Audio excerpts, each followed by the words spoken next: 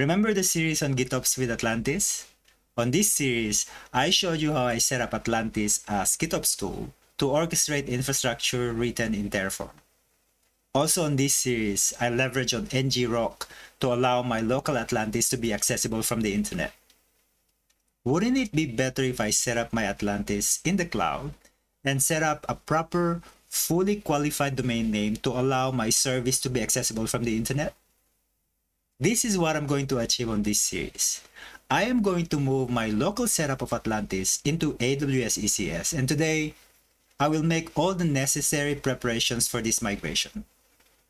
And so if you're new to this channel, I'm George and you're on Pablo Spot, a space where I show and tell practical examples and sample implementations on DevOps and cloud technology in general. On that note, let's get into it. Let's start coding.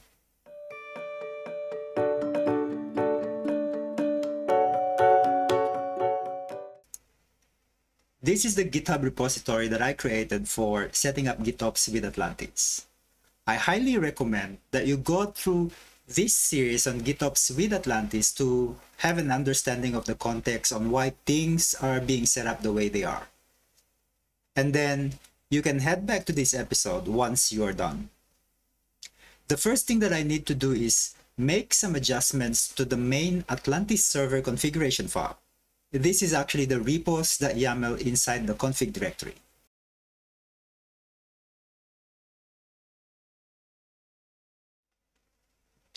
In order to make the configuration file more generic, I'm going to change the POC workflows and rename this to Terraform.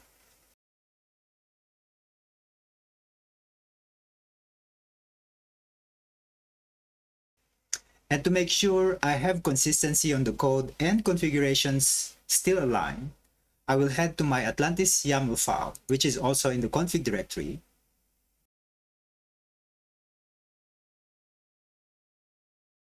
and rename the workflow property in here from POC to Terraform.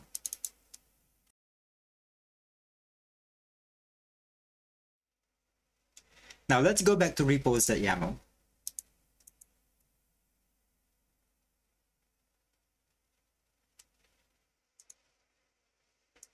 Notice that on the repo section of this configuration file, I have defined a pre-workflow hook and I need to update this.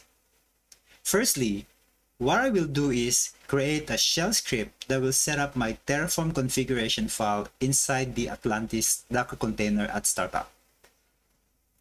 Let me head to my Explorer and inside the scripts directory, I am going to create a new shell script and call it generate tfc rc.sh.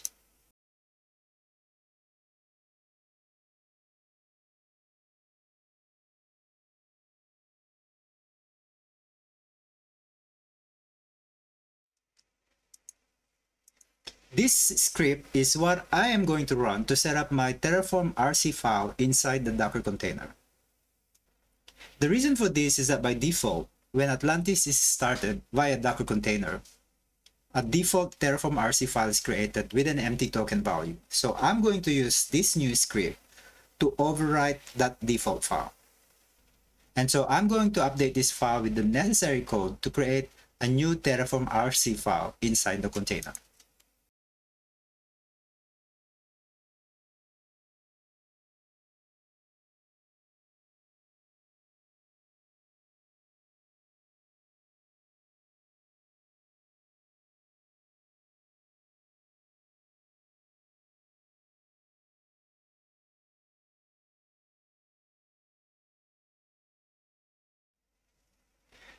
Notice that in this script, I am pulling a value from an environment variable called Terraform Cloud Token. I will set the value of this environment variable later on when I get to setting up the Docker container. So now that I have my Terraform RC taken care of, let's head back to my repos.yaml.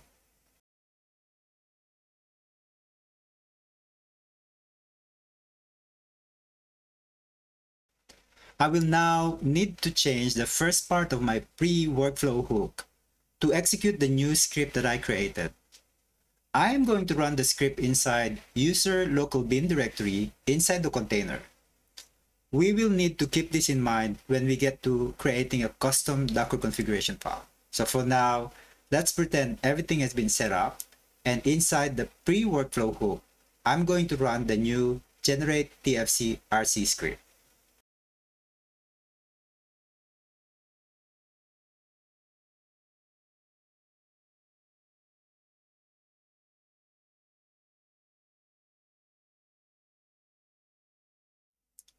The other item inside my pre-workflow hook is the client configuration file or the atlantis.yaml. I need to make sure that this file is also dynamically generated. So what I will need to do is create another script that will generate this client configuration file for me. So let me head to my Explorer. And inside scripts directory, I'm going to create the new script.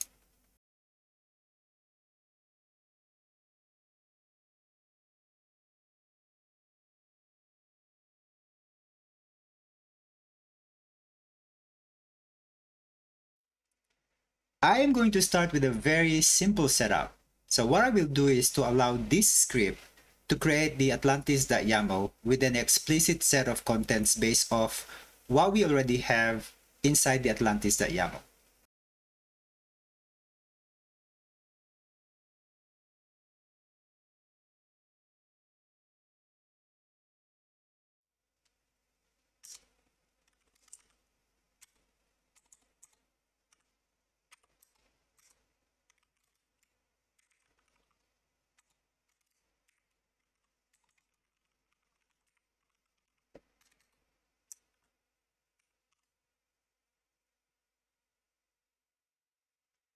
And to populate the contents inside the here doc, I'm going to head to my atlantis.yaml, copy all the contents, head back to my new script, and plug that in.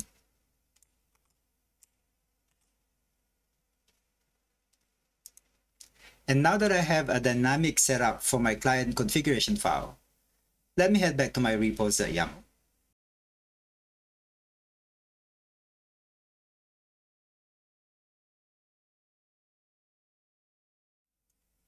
I am going to update the part that sets the atlantis.yaml file and replace this with running the new shell script and run this inside user local bin.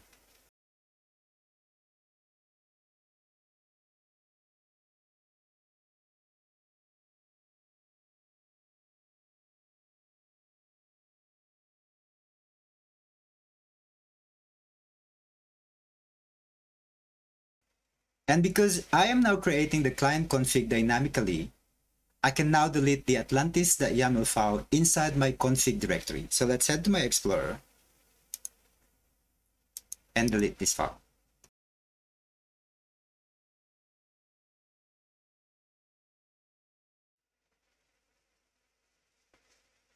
Before I start working on the next steps, I need to change the permission on my new scripts. So let me head to my VS Code terminal and make both scripts executable.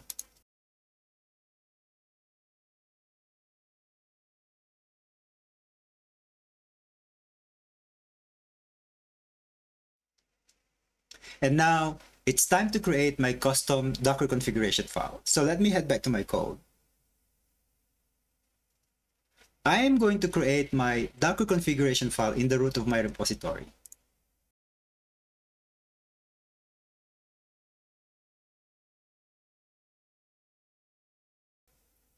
Now, if I open the Docker Compose file that sits on the root of my repository,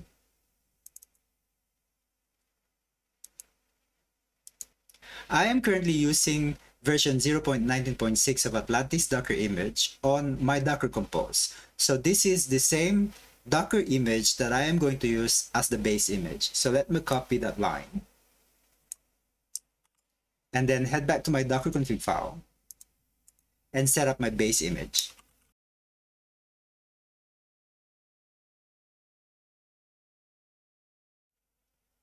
And then I need to copy my new shell scripts into the image so they can be run when the container starts.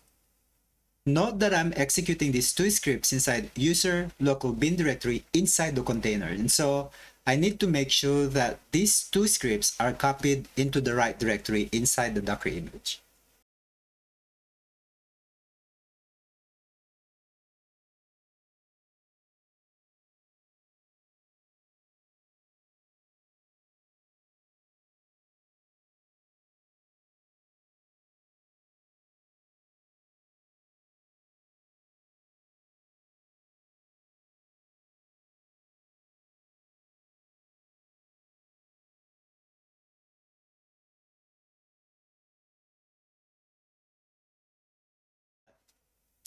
The next set of changes that I need to do is to make sure that my Docker Compose file is also aligned with the changes that I've done so far. So let me head back to my Docker Compose file.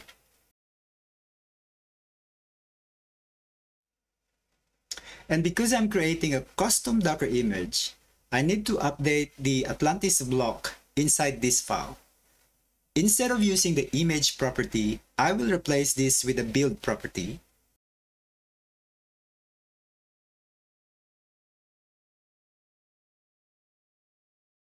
And inside this property, I'm going to add a context property. And set the value to a dot, which indicates that I'm setting the context on the root of my repository.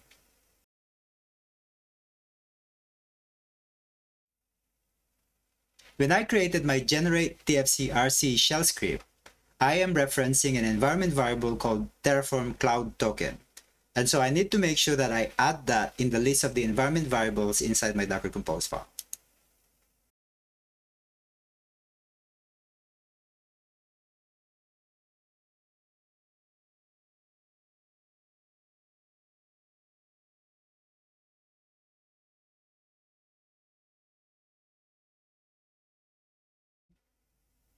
On my local machine, I have an environment variable file called .env.local that contains all the environment variables that I need to set up on my local machine. I also need to update that file to add that new environment variable and set the value accordingly.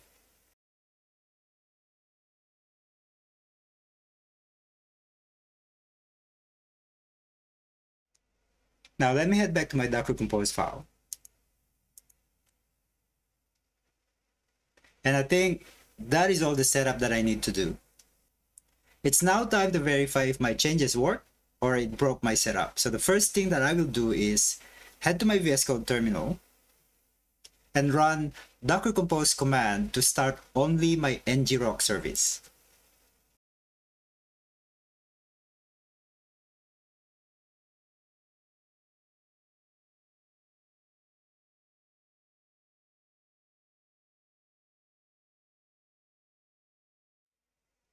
My ngrok container is up. Now let me switch to my browser and access the local instance of my ngrok, which is running on port 4040.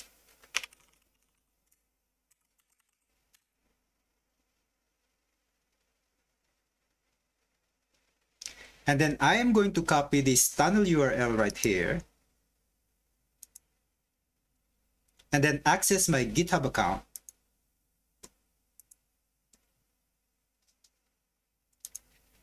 head to my settings and then open up developer settings and edit the run Atlantis app that I have set up. Head over to the webhook section and change the webhook URL. Make sure that you have slash events at the end.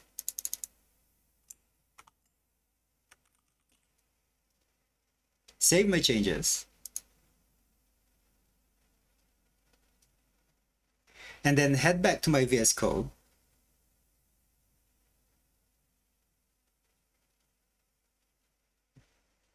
And then open my .env.local file. And update my Atlantis Atlantis URL field.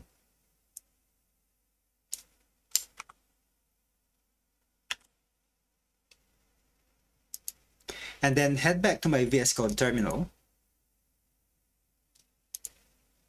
My Atlantis service requires AWS credentials. So I will set this on my session by running AWS Vault.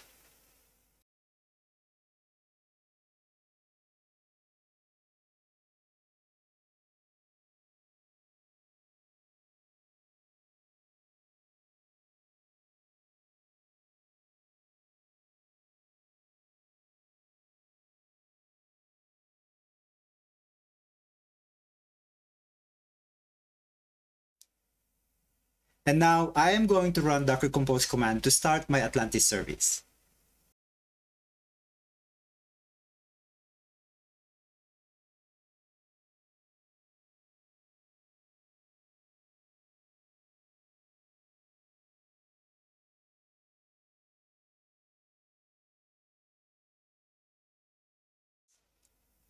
This Docker Compose run involves building of my custom Atlantis Docker image. And to prove this, if I run Docker images on this terminal, a new Docker image is added in the list. The Docker image gitops with Atlantis underscore Atlantis is the Docker image that is built as part of the Docker Compose run to start my Atlantis service. And now that my Atlantis service is up, I'm going to head to my browser and access a pull request from one of my infrastructure repositories to test Atlantis. This is my AWS single sign-on infrastructure repository. I also have this open pull request in here, so let's go ahead and use this to verify my change. If I head all the way to the end of this page,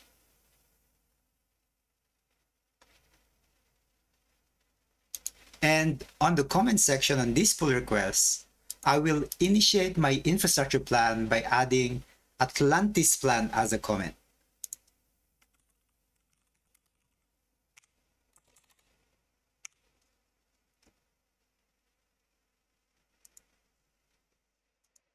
So Atlantis plan is completed and if I scroll up on this page, it will show me the result of the Terraform plan against my AWS SSO infrastructure. So everything still works. That's good. So my changes have not broken anything. And that's all I have for today. On the next episode, I will look into adding my Terraform code on my Atlantis repository to start the necessary work to build my Atlantis Docker image and push it to AWS ECR. So what I will do on the next episode is the consolidation of the Docker build process and Docker push using Terraform code, stay. In the meantime, let me know your thoughts in the comments below and send me some likes if you find this useful. And don't forget to hit the subscribe button if you like the content on this channel. Until next time, keep learning and stay safe. See ya.